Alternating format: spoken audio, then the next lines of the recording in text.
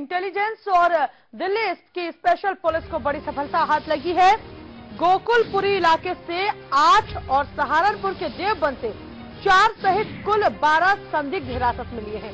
संदिग्धों के आतंकी संगठन जैश मोहम्मद से जुड़े हुए तार बताए जा रहे हैं। स्पेशल सेल के ऑपरेशन से ये सफलता मिली है। दिल्ली के लगे आसपास के इलाकों, पश्चिम, उत्तर प्रदेश के सटे जिलों में ऑपरेशन अभी भी जारी है। संदिग्धों से विस्फोटक आईईडी बरामद किया है। दिल्ली में बड़ी वारदात करने की फिराक में थी ये सभी संदिग्ध।